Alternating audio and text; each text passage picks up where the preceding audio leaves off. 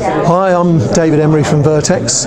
We provide architectural services. Our clients are mostly house builders. And the thing we do is use technology. So all our designs are fully modelled in 3D and 4D and 5D. Another part of the business is that we help the construction industry understand how to implement new technologies to become more efficient. So I've been a member of Peter Roper's family business practice for some years. And uh, Peter asked me to come here tonight to the Fairlawns Hotel in Aldridge uh, to be one of his speakers for the evening. Uh, my topic was called Filling the Fridge.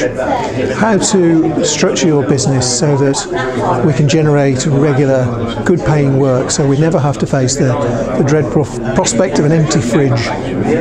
So if you'd like to know more about Virtechs and our design services, do go and look at our website, virtechs.co.uk.